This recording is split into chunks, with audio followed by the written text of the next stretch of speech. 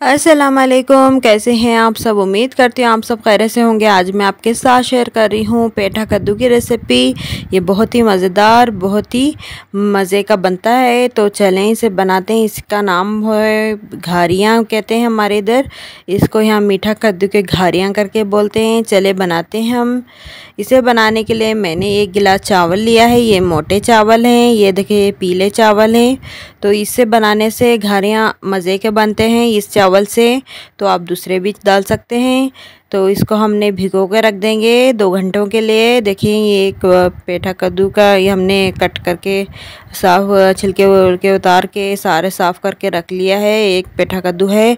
अब हमने एक नारल लिया है, इसको भी छील लेंगे। छीलने के लिए हमारे पास मशीन पड़ी हुई है छिलने की, नारियल छिलने की। है देखें, इस तरह हम छील लेते हैं तो इस तरह ये छीले जाता है। तो इस तरह हमने सारा छिलके उतार लेंगे इसके। ये देखें। इस तरह मशीन होती है यहाँ पे। तो ये साउथ इंडियन में इस तरह मशीन होती है नारियल छीलने की। तो इस तरह छील लेते हैं सारा। ये देखिए, ये छिलके उतार लिया हमने। ये देखें, माशाल्लाह से छिलके उतार के हमने अलग कर लिया है। ये देखिए, इस तरह था, ये इस तरह निकल गया है। अब इसको तोड़ के हमने पानी अलग कर लेंगे इसका। सारा नारियल हम तोड़ के से कद्दूकश करेंगे खिरीच लेंगे, ग्रेट करेंगे। तो जितना भी हमारे यहाँ खींचने का कहते हैं, कद्दूकश नहीं कहते। ये देखिए, हमने नारियल को तोड़ लिया तोड़ के इसका पानी अलग कर लेंगे, इसको हम पी लेंगे। बाकी हम छिलके से नारियल को उतार लेंगे। ये देखें इसको हम थोड़ा सा पीसेस बनाने के लिए रख लेंगे, बाकी हम इसको कद्दूकश कर लेंगे। ग्रेट करके रख लेंगे। अब ये पत्ते देखें इसी में हम पकाना है। ये पत्ते हैं, प्लास के पत्ते करके कहते हैं, प्लास का दरख्त। कहते हैं यहाँ पे। पता नहीं आप लोग क्या कहते हैं तो कमेंट में मुझे बताएँ। तो इसको हम पत्ते अलग करके अच्छी तरह से इसको साफ़ कर लेंगे।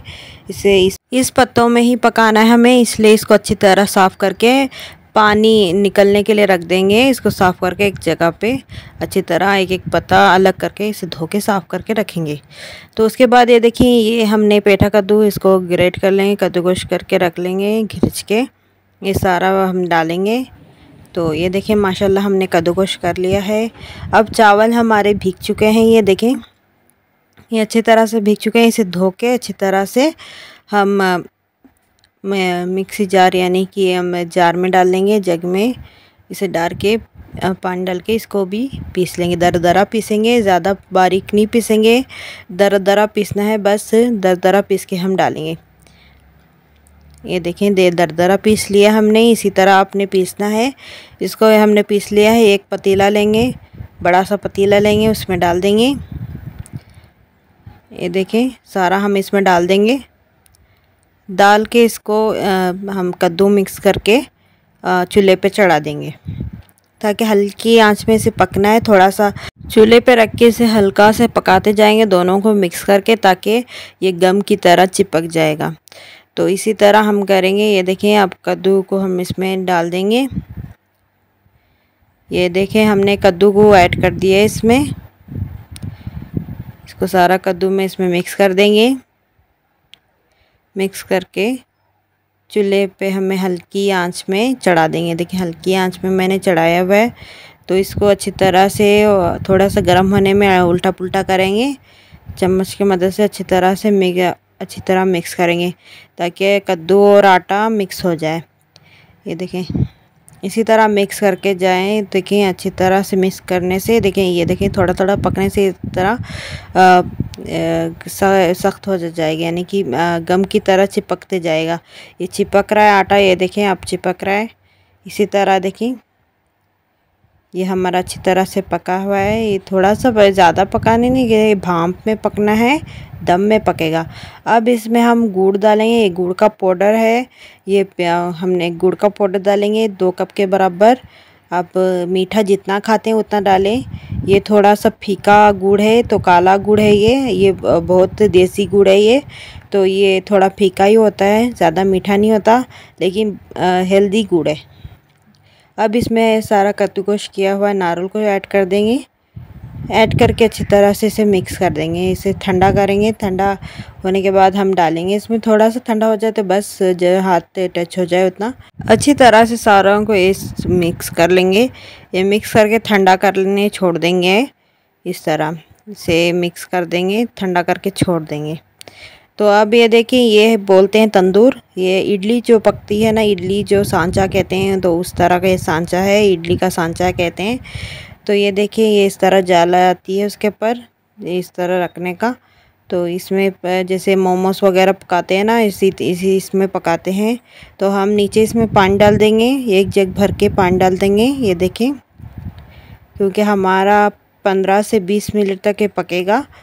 तो इसलिए एक जग पानी भर के डालें ताकि पानी ना सूखे। तो इसको हमने रेडी कर लिया। अब देखें अब ये भी ठंडा हो चुका है हमारा। अब इसमें हम पीसेस करके इतना सा हमने खोपरा रखा था, यानी कि नारियल खोपरा भी कहते हैं यहाँ पे। तो ये इतना पीसेस करके हमने रखा था तो उसमें हम ऐड कर देंगे ताकि वो खाने में अच्छा थोड़ा चबाने के लिए अच्छा होता है। तो मज़े का लगता है, इसलिए मैंने डाला है। आप डाल भी सकते हैं, नहीं भी डाल सकते हैं तो स्किप भी कर सकते हैं। तो अब हमें पत्तों को सारे साफ़ कर लिया था। अच्छी तरह से इसको हम उल्टा कर लेंगे। उल्टा करके इस तरह हम इसको इस तरह रखेंगे। तो इसके अंदर हम इसको एक एक चम्मच के बराबर, यानी खाने का चम्मच, जो बड़ा चम्मच होता है तो उतना उतना हम जितना आपका पत्ता होता है, उतना आप साइज़ का ले लें, ताकि हमें फ़ोल्ड करने दिक्कत ना हो, यानी कि मुश्किल ना हो। देखिए इतना इतना ले लिया है मैंने। इस तरह फ़ोल्ड करके इसको इस तरह फ़ोल्ड करेंगे। आप धागा भी बाँध सकते हैं तो आप कभी निकलना मुश्किल हो तो या बड़ा पत्ता हो तो निकले, खुलेगा नहीं। जो छोटा पत्ता होता है तो वो खुल जाएगा तो इसलिए हमने धागा भी बाँध सकते हैं। नहीं, इस तरह भी आप रख सकते हैं। इस तरह बना के भी उल्टा करके रख सकते हैं, ताकि ये खुले ना। तो इस तरह आपको नहीं आ रहा तो आप धागा भी बाँध लें तो आपको आसानी हो जाएगी। ये देखें। इस तरह मैंने दूसरा पत्ता भी दिखा रही हूँ आपको इस तरह बाँध के। ये देखें।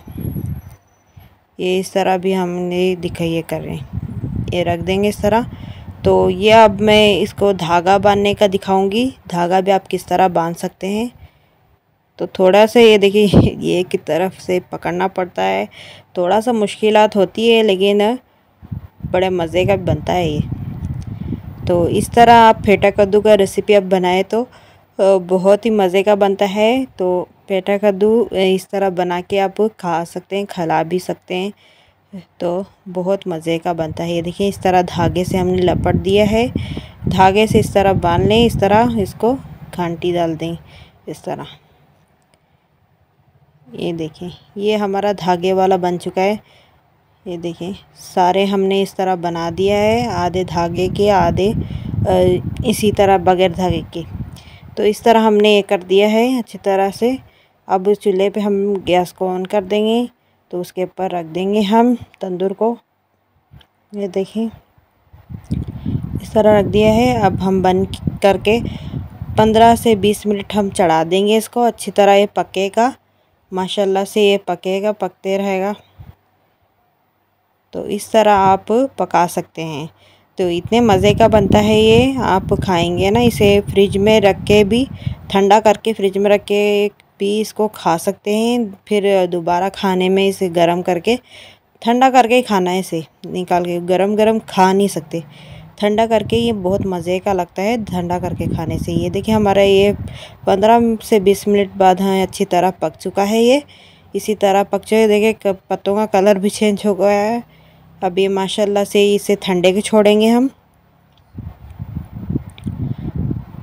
ठंडे को छोड़ के इसे फिर हम खाएँगे इसको। ये देखिए इसको ठंडे को छोड़ेंगे। ये देखिए, हमने निकाल लिया है प्लेट में। इसको ठंडे को छोड़ देंगे। ये माशाल्लाह से देखिए, अब ठंडा हो चुका है हमारा। इसको ओपन करके मैं दिखाती हूँ आपको। ये देखिए अभी भी थोड़ा ठंडा होना है, लेकिन फिर भी ठंडा हो चुका है थोड़ा सा बहुत खोलने के मुताबिक हाथ टच करने के लिए। तो माशाल्लाह बिल्कुल ठंडा हो जाए तो आप खाएँ तो बहुत मज़े का लगता है। ये देखें, अच्छी तरह से पक चुका है। ये देखें। आपको ये माशाल्लाह से साउथ इंडियन स्पेशल चीज़, यानी कि ये जो घारियाँ की रेसिपी आपको कैसी लगी, आप मुझे कमेंट में ज़रूर बताएँ। तो आपको ये वीडियो अच्छी लगी तो लाइक और शेयर कर दें, सब्सक्राइब कर दें। तो ये बहुत ही मज़ेदार बनता है। एक बार आप बनाएँ, खाएँ और आप फैमिली को भी आपके खिलाएँ। तो चलें, मिलते हैं अगली वीडियो में। अल्लाह हाफिज़।